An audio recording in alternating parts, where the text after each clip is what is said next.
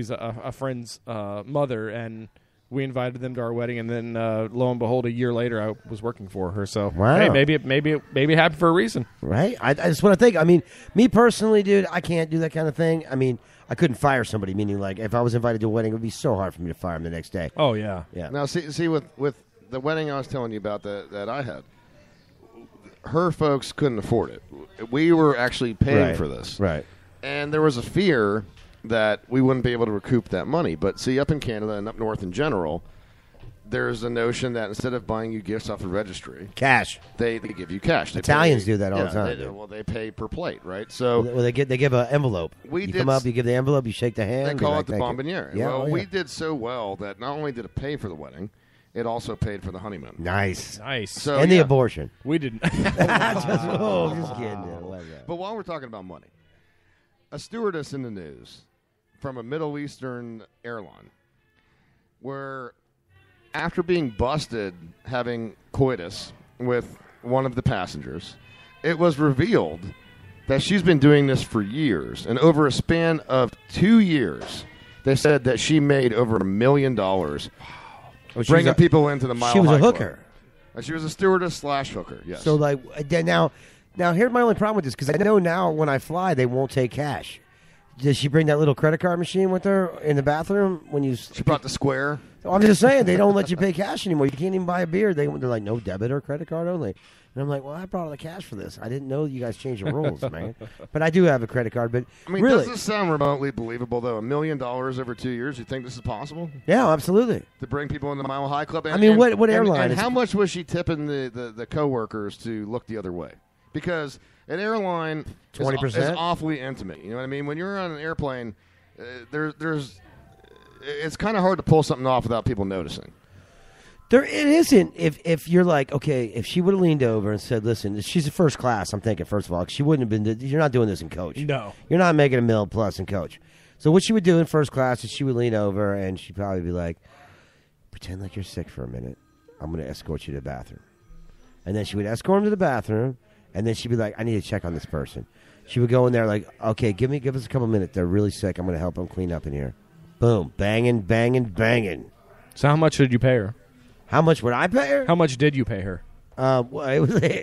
It, it, once again, they didn't take credit cards at the time, so it was what I had in my wallet, and it was about a thousand. But you know what? It was a thousand in EBT, right? Yeah, that's how I roll. you know, the weird thing is we j- we joke about the Mile High Club, but have you been in a, a airline bathroom lately? no, I never go, No, because you can't freaking fit. dude. I flew all the way to California just recently, and I didn't piss once because I hate going in the bathroom. It's horrible. I don't want everyone to get up. Now, granted, I flew first class, eh, which was Well, nice. I wouldn't, I wouldn't want to get up either. Yeah, You like, know what I learned recently about the airline bathrooms? Yeah. I know this is going to be hard for you to believe, but I like to be drunk when I get on the airplane. and pills sometimes. You know, you can take your own airplane bottles on. I know that. no, you can you? Yeah, you yes, can. Yeah, they're up to- small up enough to, to, a get certain through amount, security. yeah. Yeah. you can take your own liquor bottles on. the Like how plane. many? Like twenty? I don't know. I we'll ask Jimmy and Lauren. They they went when they went last time. They went. I think it went to Costa Rica or something. They But- took but- but or you know- Vegas. They took a handful of bottles with them. But you know what I learned? The stewardess told me this. What's that? Even though you know you wait for the sign. Hold on, the stewardess told you. Was Yeah. it? Yes, and and I it need a was thousand dollars, please. and it was quite insightful. Okay. I mean, it was a mouthful. but for you. it was a tranny. Anyway, um, but but what I learned was that Was his name Kim? Maybe.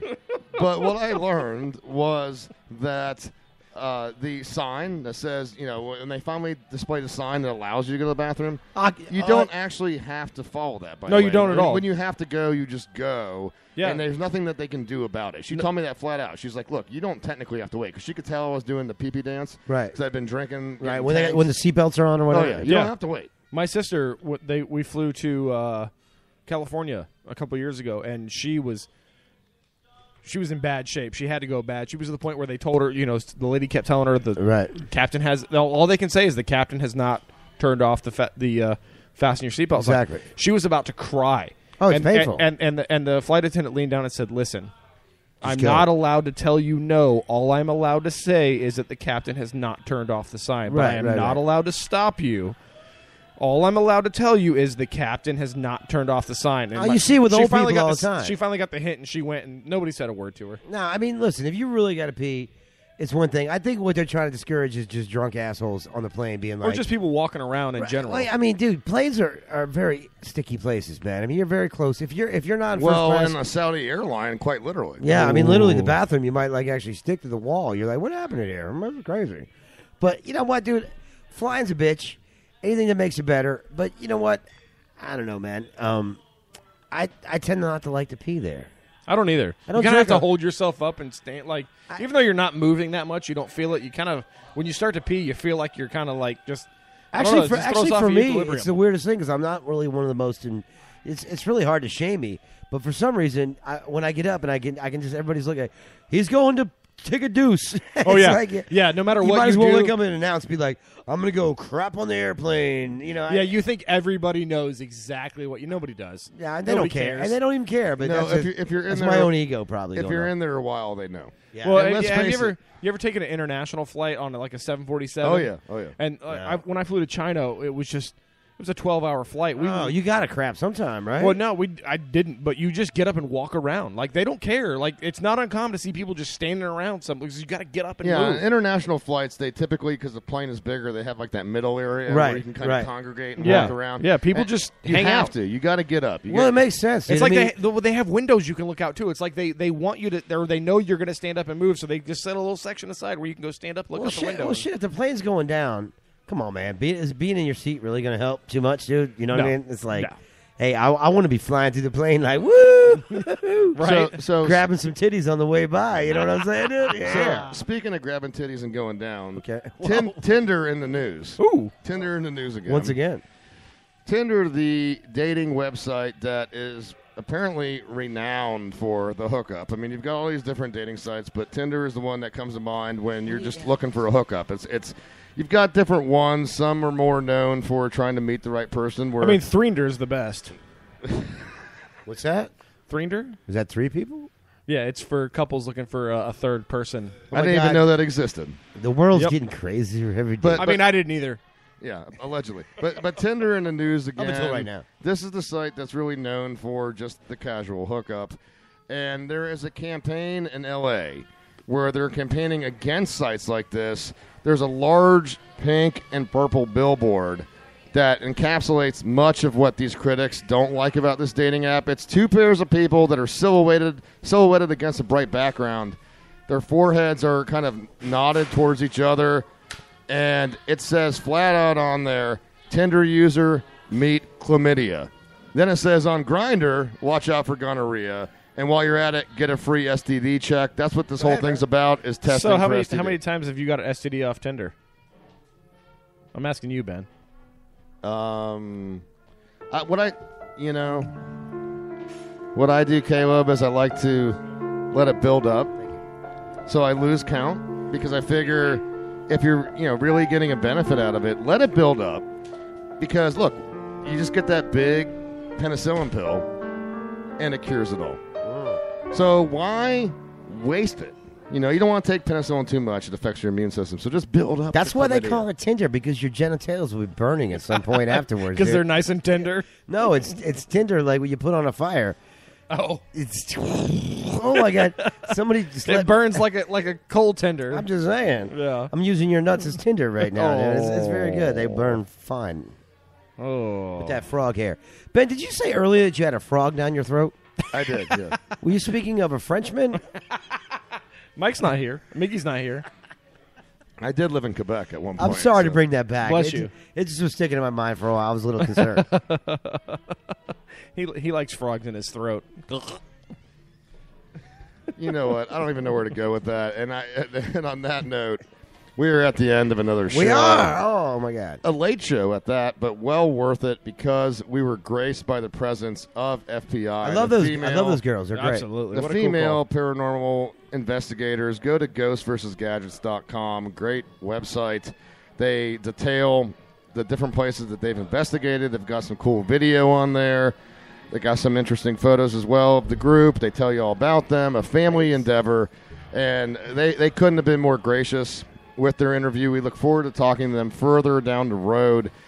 Next week, another show, seven to nine, maybe, maybe later, on a Friday. Maybe seven thirty to ten. Maybe, Who knows, man? We we're flexible. So, so uh, the Well, show's over, guys. I don't know if we're flexible, but uh, I'm flexible. I can do splits. hey, oh, that's right. You he can. can. The show's over, guys. What did you learn? What did I learn today? I learned that there is actually, and I'm going to be a little serious about this, not joke out. Well, I'm going to be unserious for a second. I learned that Larry King is probably a person, not a ghost. Number two, I learned that you can actually be attacked by a being or something, and act physical I didn't know that. affects. I, right. I, I really never believed that. I always thought that was like kind of a weird thing, but Yeah. they said it's true. And I also learned that pretty much everybody that works here looks really hot. Damn.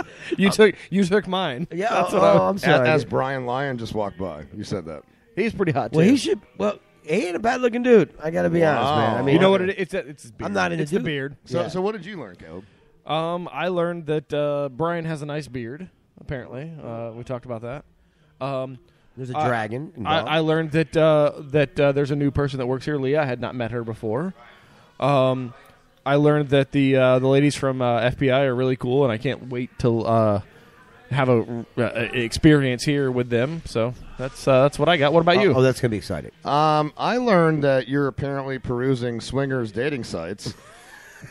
no, I heard about it on the on an, on another radio show. You, you heard about it, yeah. Heard Okay, about it. We'll go with that. Yeah. Um, I I also learned I that got a funny story. I got to tell you what when the when the I- mics are off. I also learned that we get to take part in this ghost. I know. It's gonna be I'm badass, so, I'm so excited. I'm like freaked out, but excited at the same No, time. how can you Super not be stoked cool I'm like, it? I'm like a little kid right now. I'm like, I mean, first of all, they're serious about this, right? yeah. So how can we not be excited? Oh, Absolutely. This is, going to be awesome. So, all you Craniacs, we hope you enjoyed yourself. We hope you had a good time listening to the show. We appreciate your support as always.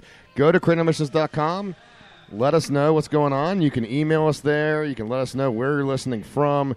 Facebook.com slash The Cranial Network. Like the page there. Follow us on Twitter. Like, actually, FPI just recently did at Cranial E. They did it after the interview. We appreciate that. Check us out on iTunes too. Exactly. I actually found it the other day. It's uh, it's a little easier to listen to on iTunes than it is Spreaker. I gotta We're- say. Hey, hey, can I actually say one thing? Next week we're going to have my band's bumper music on. So yes, we Heck will. yeah. please Yeah. tune in next week. We're going to play a little of the uh, some of the old Sons of Working Class, some of the new International Criminal Gang of Bastards. Sounds So good. be a part of that. For the Cranial Emissions Show, Ben Charles, the C Squared, Caleb Crispy, the Reverend Joey T, here before you. We look forward to talking to you next week. We're out. What's the tagline? You didn't say the tagline. Oh, question everything, consider anything. We thank you for listening to the Cranial Emissions Show. Make sure you visit our Facebook page, the Cranial Emissions Network, our Twitter page at Cranial E, and tune in every Friday, 7 to 9 p.m. Eastern Standard Time on Spreaker.com.